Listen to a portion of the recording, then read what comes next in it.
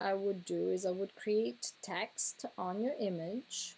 And sorry, I, I wish you had not sent the image all um, mushed up in a JPEG that I could see the layers. And so I could turn off the current uh, glow that you have. Um, that's kind of a bummer that is there, but not much I can do. But um, I'm going to type another glow, and then I'm going to um, go in and command click on the T tool to select it. And I'm going to create a new layer. I'm going to turn this one invisible. I don't need it anymore. And I'm going to do option delete in the new layer that will fill in that selection with the foreground colors that is blue. And then I'm going to de deselect everything and I'm going to go in edit, transform, and I'm going to choose, for example, distort. I'm going to move it where I want it to be It's really important. And now you can basically take this and start making it kind of like start fitting where you want this to be.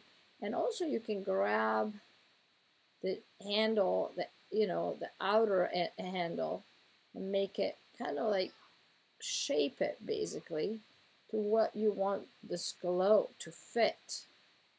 You can see that, right? That I'm basically shaping it, and I'm sorry that it's yours in the background. As I said, I couldn't turn it off. But you can see how now the word glow, it looks really actually pretty nice in there already. There it is. It looks kind of, what I was telling you, it looks kind of vertical, parallel to these vertical line, follows this this line, this diagonal line, and all the letter have the same base.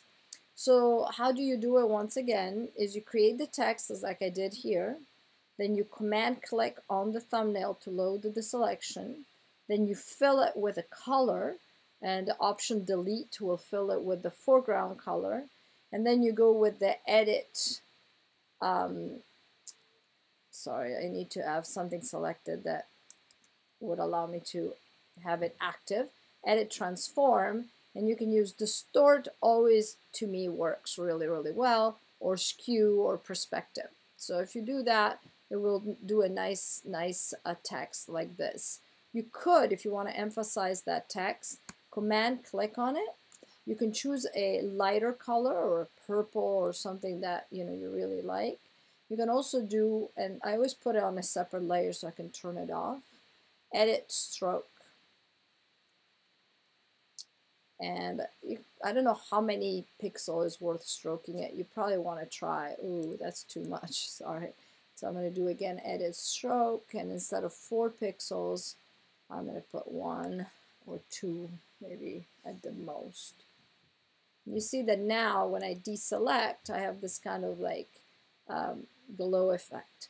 The reason why everything is so pixelated is because the image you send me is horrendously small.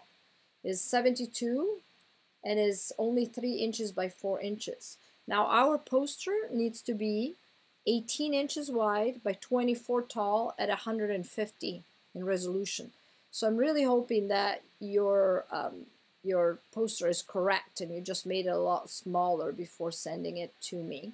Um, I'm really hoping that because otherwise is kind of trouble. Anyway, but that's why the quality is so low, but the technique is pretty much this. Create the text, load it as a selection, fill it, and then go in edit, transform, uh, distort, or edit, transform, skew, or edit, transform, perspective, and change that um, text to fit more like a, a 3D um, surface to kind of fit that.